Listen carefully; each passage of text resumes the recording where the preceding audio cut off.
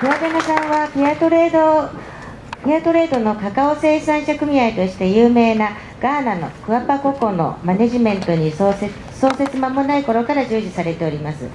1993年に22の村の200人のカカオ生産者からスタートした組合を1300以上の村々の4万8000人以上のカカオ生産者を束ねるまでに成長されていらっしゃいます。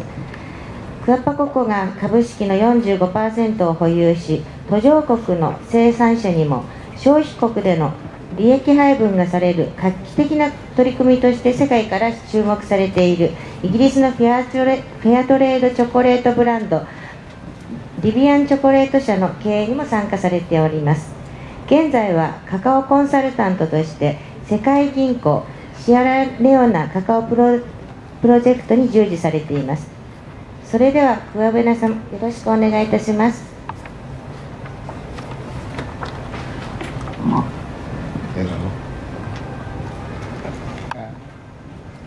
Thank you, organizers of this meeting.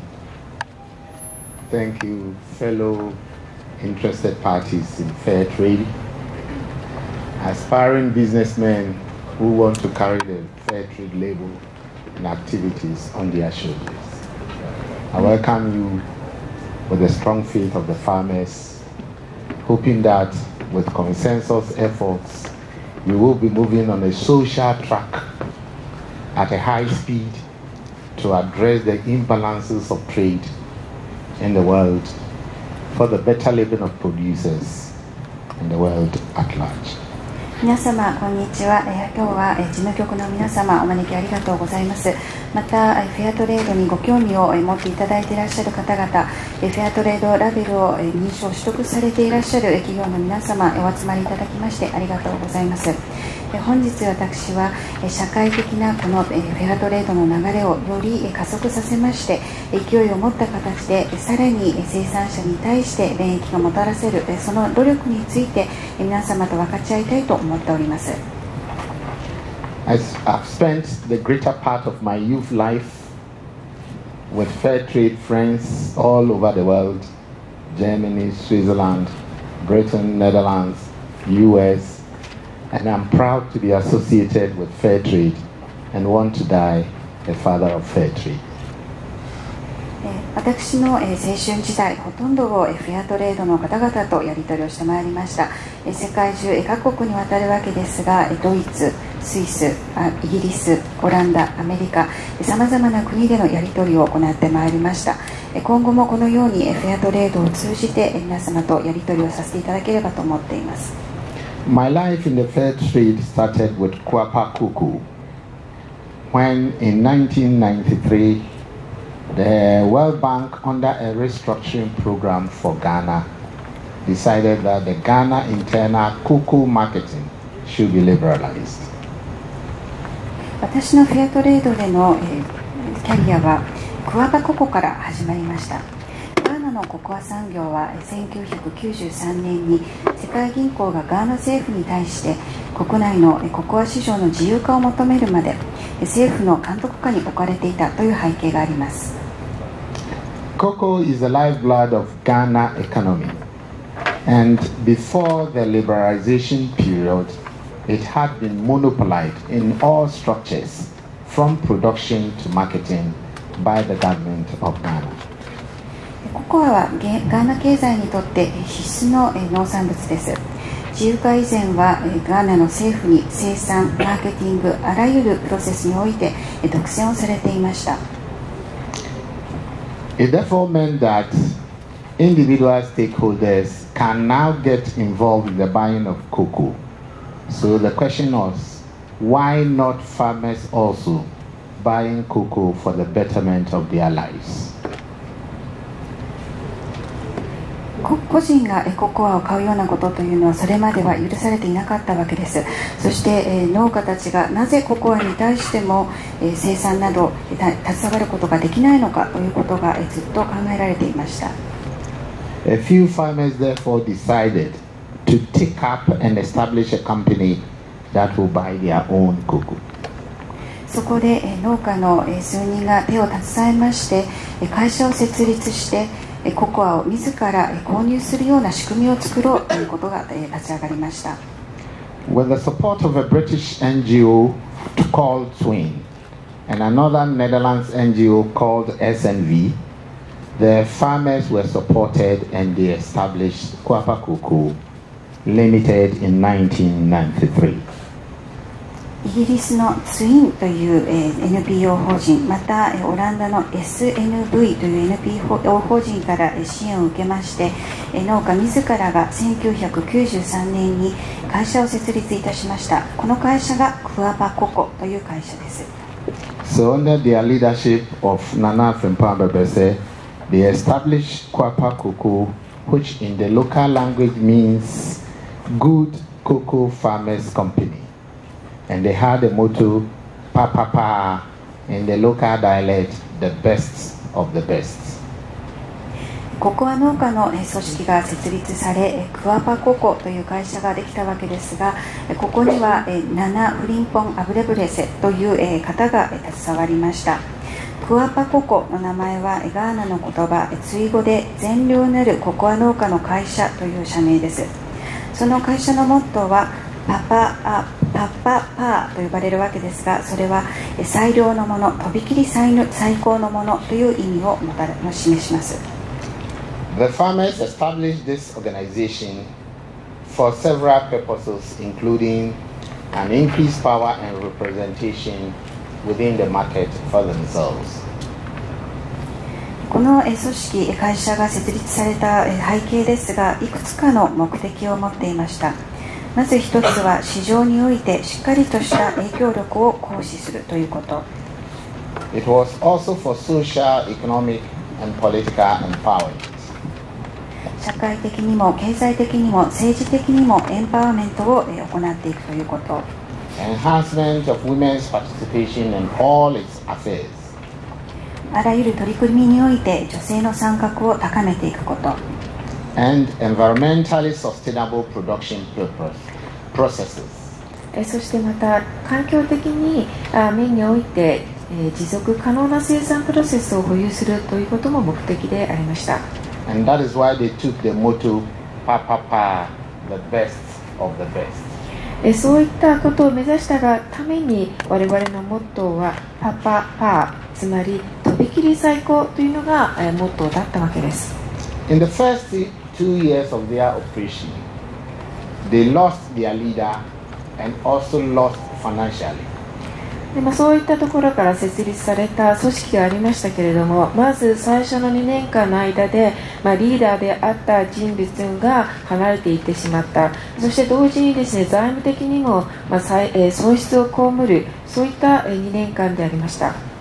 These two events nearly collapsed the organization, but fortunately, the main supporters, Twin, decided to reorganize the organization, and that led to bringing me on board as the managing director of Kwapa Kuku. まこのようにリーダーを失ったそれから財務的な損失を被ったこういった2つのことがゆえに、え今申し上げたのこのクワパコホというのはほぼ、え倒産寸前というような状況まで陥っていたのですが、まあ、誠に幸運なことにこのサポートをしてくれていた、え法人であるそのツインがもう1回ではこのクワパココの組織編成をし直ししようというふうに決めそれがえきっかけで私がこのクワパココのマネージングディレクターとして任命されるというふうな経緯になったわけです。Coming from a farming background myself, between 1995 to December 2009, I have been with 私自らもともとが、まあ、農業に従事していたという背景を持っておりまして、まあ、そういった経緯から1995年から2009年の12月まで私は個人的にこのコアパココに在籍いたしました And together with stakeholders, farmers,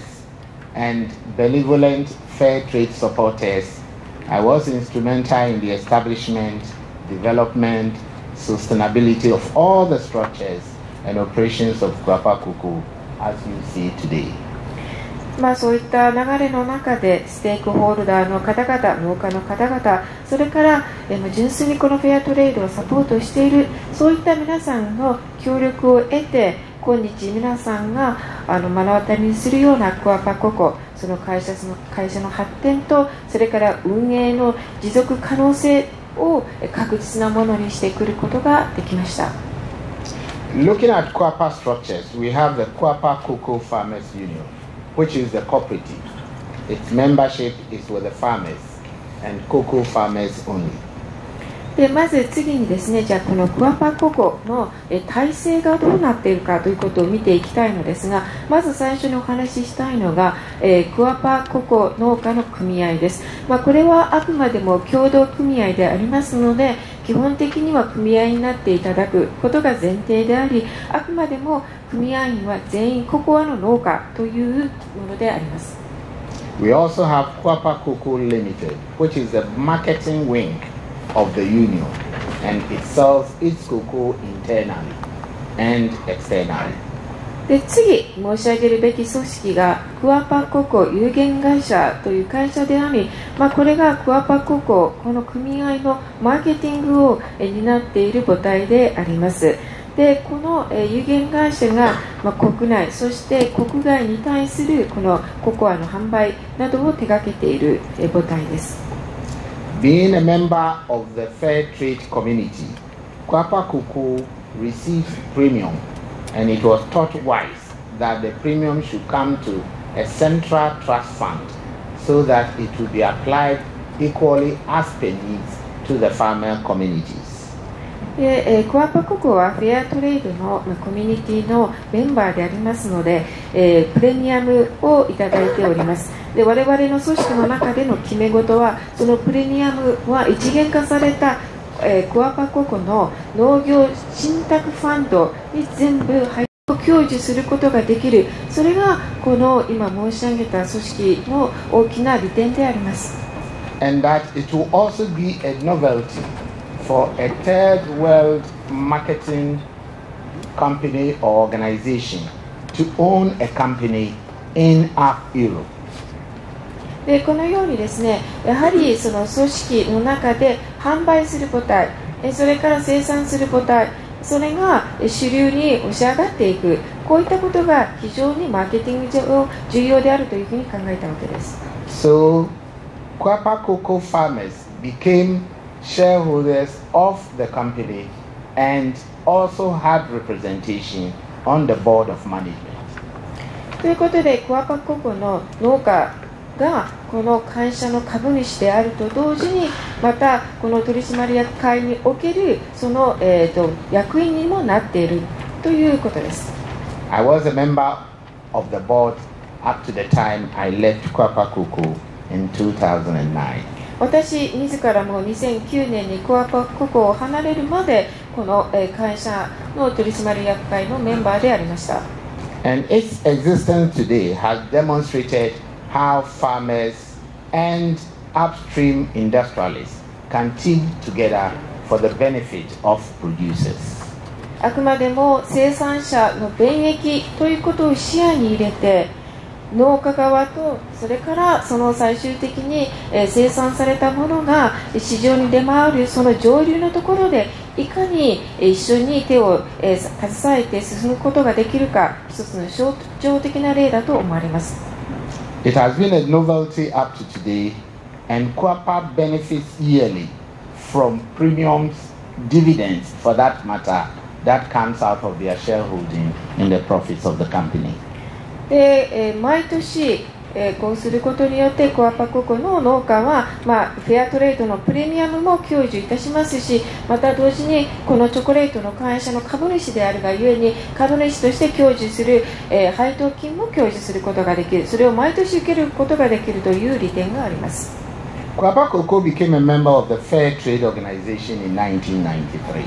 1993年にコアパココはフェアトレード認証の生産者生産者となりました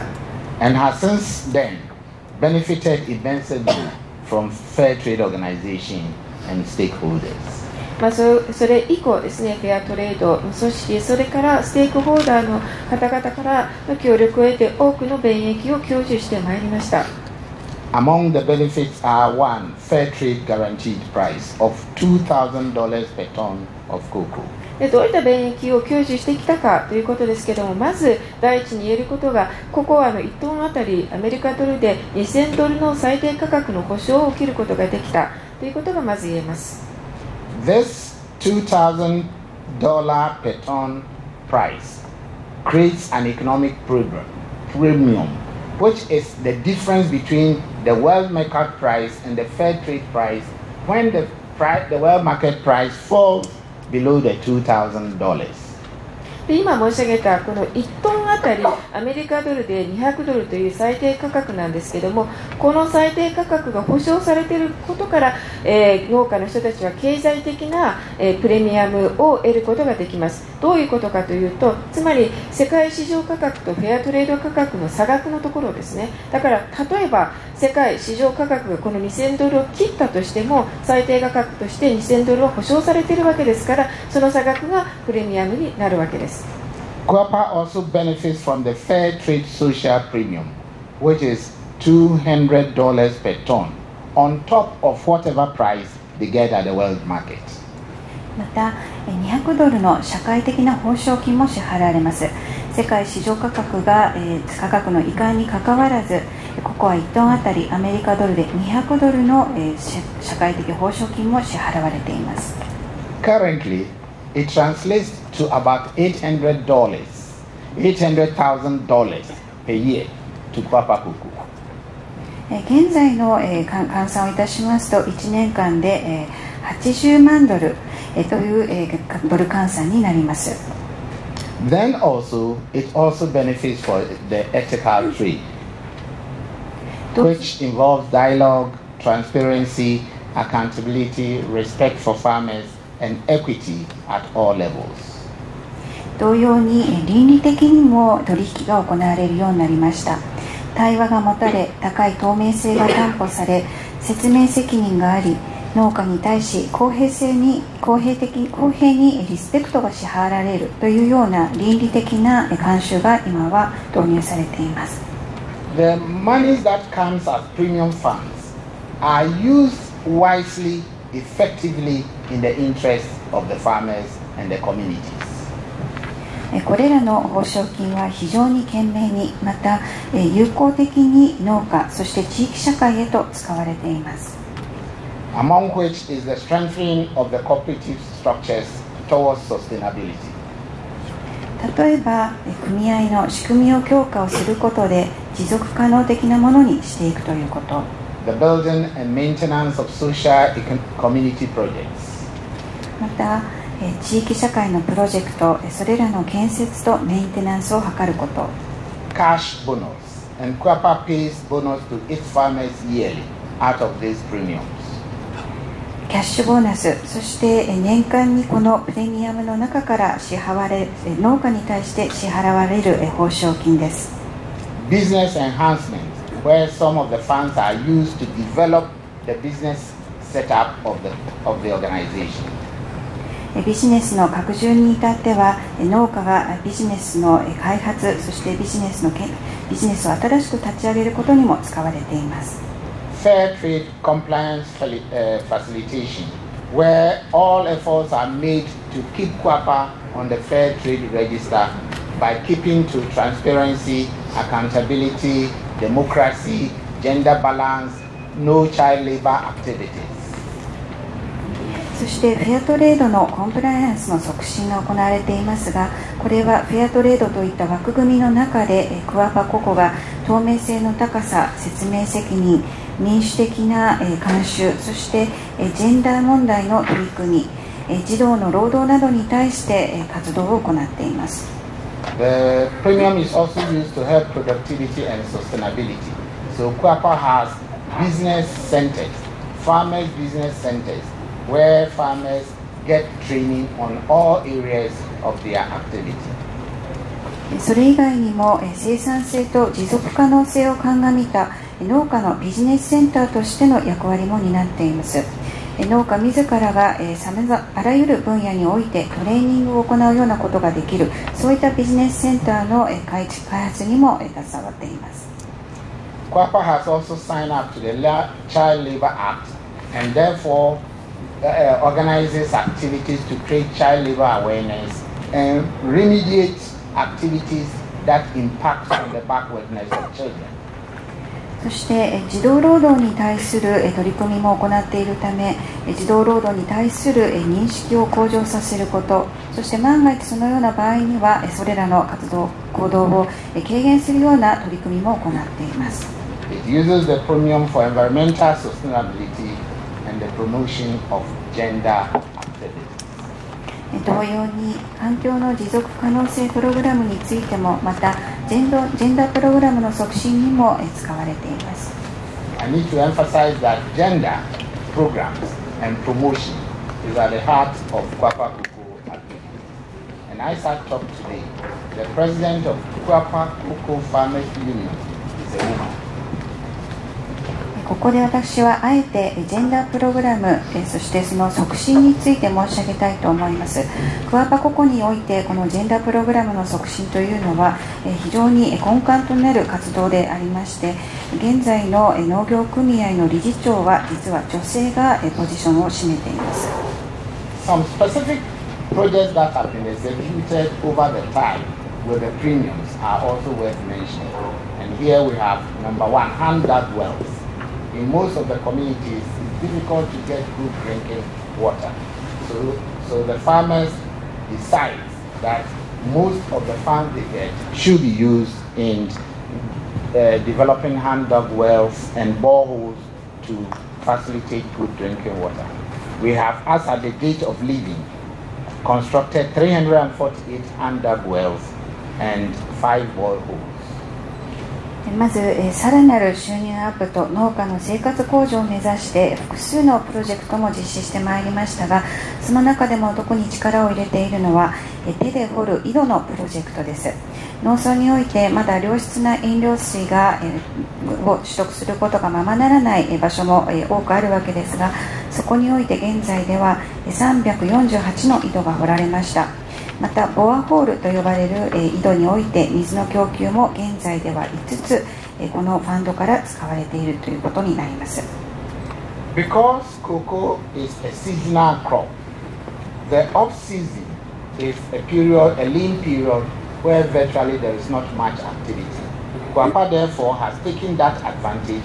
to provide other economic activities that will help farmers earn some income in between the lean period and the other period. He therefore, as at the time I was living, we had had 51 corn mills and crackers, so that within the off season they can mill their own corn and get whatever they want in terms of income from that. They also have also facilities to mill gari out of cassava, and that also serves to generate additional income to support them during the lean season. ココアは季節変動に左右されるものでありオフシーズンというものがどうしても生じます。つまりココア生産に携わる時期ではない時このオフシーズンというそのそれをあえて利点としましてその時期を生かして他の経済活動できないかと考えました。そこで農家が追加的な収入を得ることができるようにトウモロコシの製粉機を51台買いまして販売に使うトウモロコシの製粉を行っています。これにより追加的収入をアップできました。同様に食用のキャッサバイモと呼ばれるお芋からガリと呼ばれるその食品の加工を促進しています。これによりさらなる収入をアップできました。then education. さて、教育についてお話しさせていただきます。 The farmers live in communities where it is not easy to access educational facilities. So some of the premiums are used to build schools and accommodation for teachers in the rural communities so that the farmers' children can easily have access to better education. And so the buildings. 農村が都市部から離れているという地域的な事情により子どもたちが教育を受ける機会がないというそういった現実もあります。そのためこのプレミアムを使いまして学校建設をしたりまた先生方の宿泊施設を作りました。貧しい農家の子どもたちが教育を受けられるようにこの報奨金も使われています。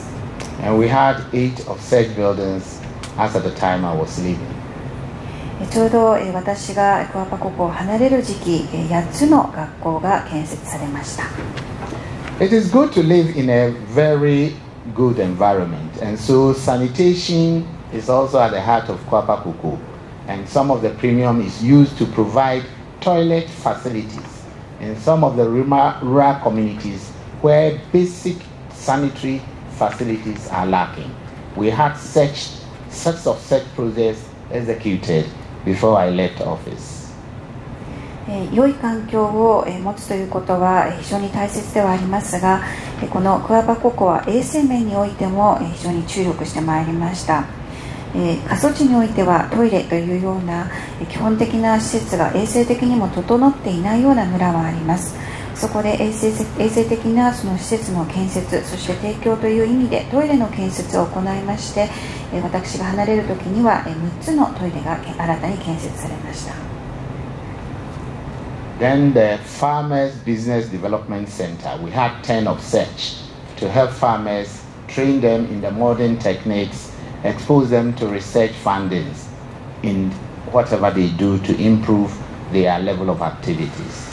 え次農家のためのビジネス開発センターも10カ所設立いたしましてそこでは、え農家の人たちに近代的な、ま、テクニックのトレーニングを受けてもらえるように促したりまた自分たちが行っている活動のレベルをさらに向上させるためのいろいろな、まあ、研究開発があればそういったものを、えファンドとしてまた享受できるような、え体制を設けております。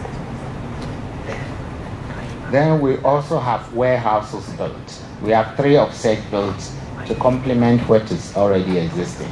This is meant to help storage of the cocoa, keep it in good quality. It also facilitates the trading activities of Kuapa cocoa. We have three of such as at the time I left. で次に、えー倉庫ですけれどもこちらもですね私がコアパココを離れた時は3箇所こういった倉庫がもうすでに存在しておりましてこれらは既存の倉庫にプラスして、え設けられた倉庫でありました、まあ、良質な環境のもと、えーココはそこで、えーと置いておく。そしてまた同時にですねここでは取引の、えーなどの管理も行っております。Mobile clinics. The farmers live in areas where they are far away of very good health facilities. So, under the premium provisions, we made a provision where we can get qualified doctors, put them in a mobile van, go from village to village, visiting the farmers and helping to address their health needs. Where it is beyond them at that level, they recommend we bring them to the central hospital, and most of the cost of their medication was borne out of the premium. 次移動診療所というものも我々のプレミアムから行っているものでありますほとんどの農家の人たちはですね良好な衛生とかそれからま健康を見てくれるようなえ施設から非常に遠いところで住んでおりますよって我々がえ自分たちの組織の中でプレミアムをどういうふうに活用するかという規定を設けたときにその規定の一つとしてこのプレミアムを有資格を持った医者が移動式のバンに乗って村々を回るそのための資金に使うという規定を設けました。よって今ではこの有資格のえ医者が移動バンに乗って村々を回りそしてそれぞれのえ農家の人たちが抱えている健康上のニーズにそういった形で今対応しております。えただそこではえどうしてもえ扱いきれないような深刻なえ状況のえ人に対してはえもっと中央にあるようなえ病院にえ行くようにというようにえ話をしますがそういった場合の医療費もほとんどがプレ ミアムから賄われています the end of every year, having rendered accounts to the farmers for work done, the farmers also benefit for cash bonus. And the cash bonus is paid yearly on per bag basis. The more you bring, the more you get. でまた毎年年末には、えー農家の人たちが自分たちが、えー行った活動に対するキャッシュボーナスが支払われていますもうこれはですねあくまでも自分がどれだけ貢献したかに基づいてどれだけボーナスを受け取ることができるかそれが決まるシステムでありまして年に1回支払われているものです Pillars of success. What has made Kuapa very successful? The first is the strong leadership. えーまず次にじゃあ私どもクアパココの成功の柱は何だったのかということを見ていきますが一つ目の柱としては力強いリーダーシップがあったということです It is always necessary to get a good, strong leadership with vision, focus, and consistent commitment to succeed. And this we got from farmers, management, staff, and all stakeholders. やはりここで重要なのはビジョンを持ってそしてフォーカスを絞ることができる。それでいて継続的に使命感を持ってコミットする。そういったリーダーシップが必要であります。このような力強いリーダーシップを農家の人たちマネジメントに携わる人たちそれからステークホルダーの人たち皆が、えーそれを、えー発揮したということになります。Then democracy. The people were,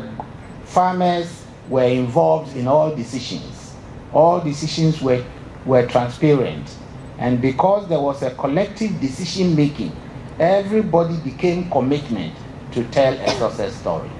And then there were regular elections and yearly annual general meeting as you are having now. え次の成功の柱それは民主主義でありますえ まず全ての決断は民主主義のもと決断を下しまた高い透明性を持ってそれらの決断が下されました。またその決断が下される時には全員参加が大前提でありましたので下された決断に対して参画した全員が皆コミットメントを持つという体制を組んだわけです。まあ、このような形で定期的に選挙を行い今日においても年次総会が毎年行われております。So we see more of democracy in the pictures. Then the gender awareness.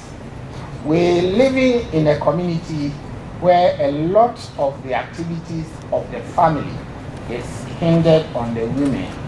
And so therefore, when we supported women to be more involved in Kwapa activities, the momentum that came out was so much and all were brought on board. So gender awareness also helped in making a success. Story.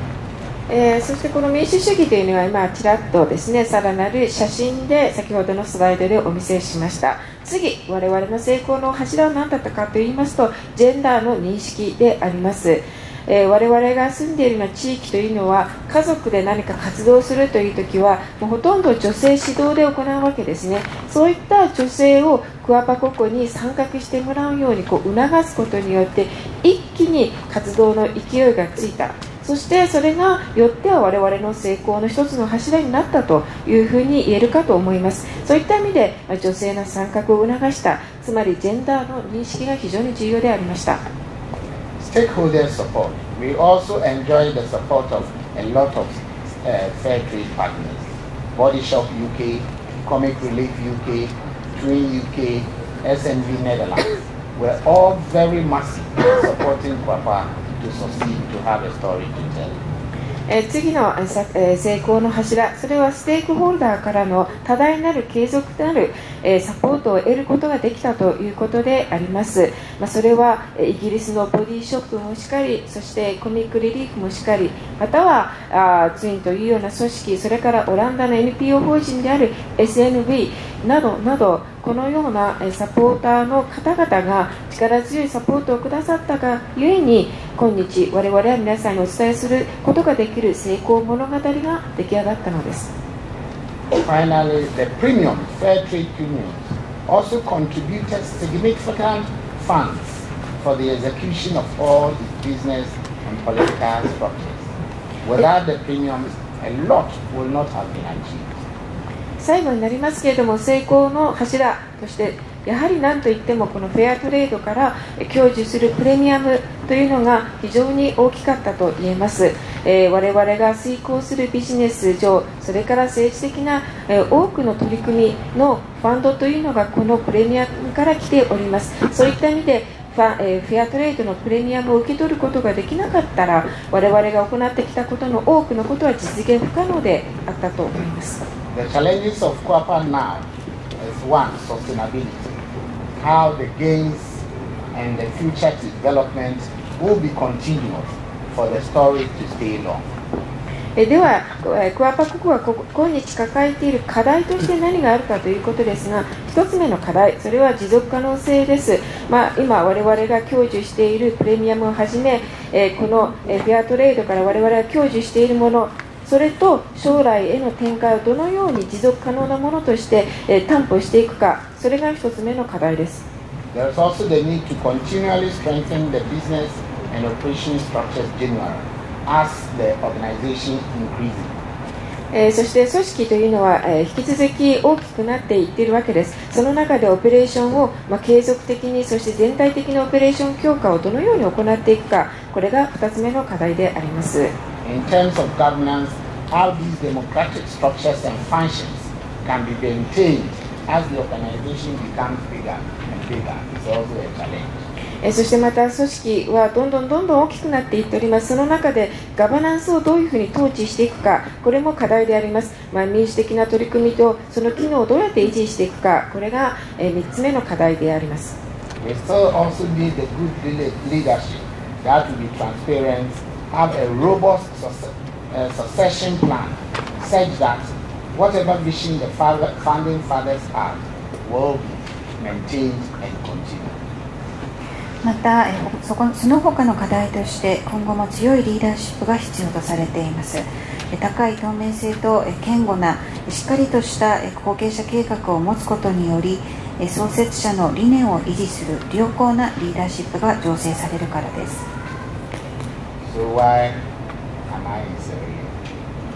さてなぜ今私がシェラレオネにいるのかということを少し触れさせていただきます。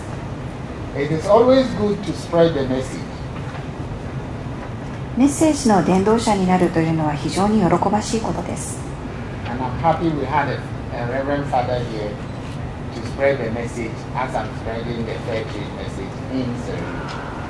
先ほど、え、牧師の先生がいらっしゃいましたけれども、え、牧師先生と同様、え、私自身がフェアトレードのメッセージを伝えていきたい、え、その本人でありたいと思っています。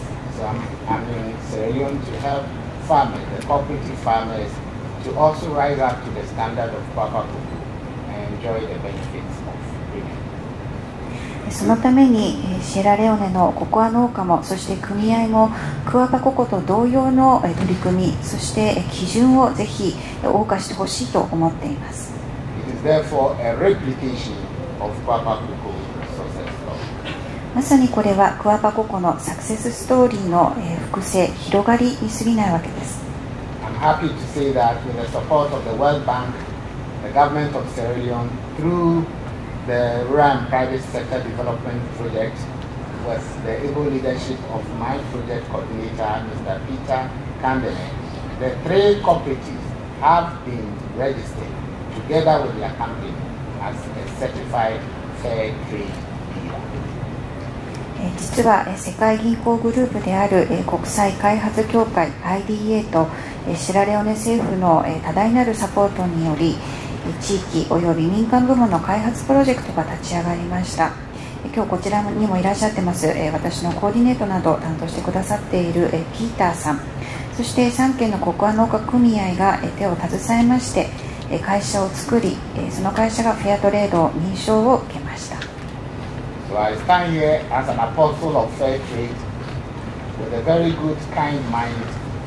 soliciting your support in whichever way possible.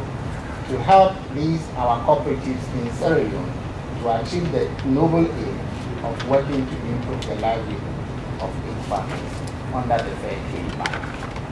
ぜひ心を込めて揺らせてください。え会員農家の生活向上を目的として、取り組みを実直に続けている組織に対しぜひご尽力を賜りますよう心からお願い申し上げます。ありがとう、ありがとう、ありがとう。